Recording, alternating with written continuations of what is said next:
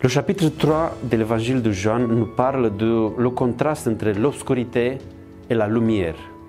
C'est Nicodème qui vient voir Jésus pendant la nuit, l'obscurité. C'est Jésus qui lui dit il faut naître à nouveau. Naître à nouveau, ça signifie venir de l'obscurité vers la lumière. Ce sont les disciples de Jean-Baptiste qui ont commencé à avoir peur que Jésus il baptise aussi. Ça, c'est l'obscurité, la lumière. Mais c'est quoi la lumière? On peut dire de meilleure façon, c'est qui la lumière? C'est Jésus la lumière. Est-ce que les personnages là, ils ont trouvé la lumière? Mais toi, tu as trouvé la lumière?